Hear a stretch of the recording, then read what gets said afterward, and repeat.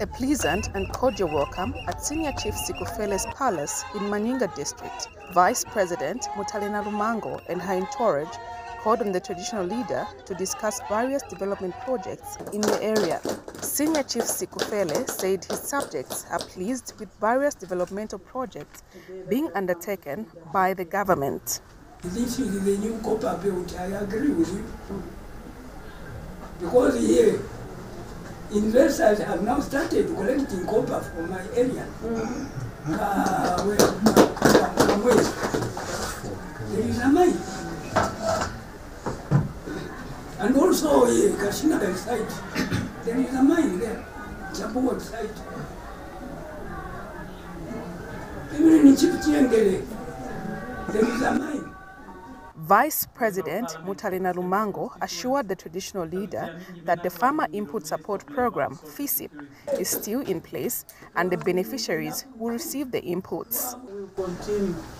But FISP cannot, FISP cannot, you know, satisfy everyone.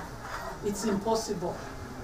And now we have people sharing from one person who gets six bags, then they start sharing in containers.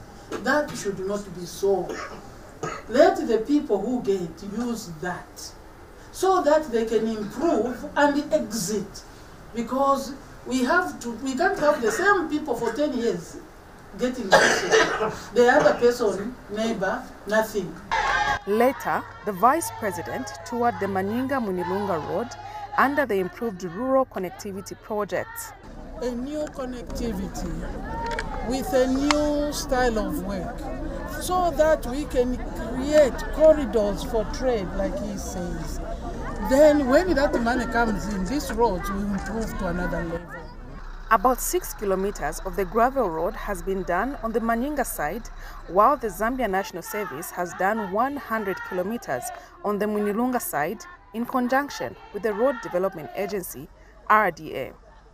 Rehabilitation, improvement, routine and periodic maintenance works will be done on the over 200 kilometer stretch.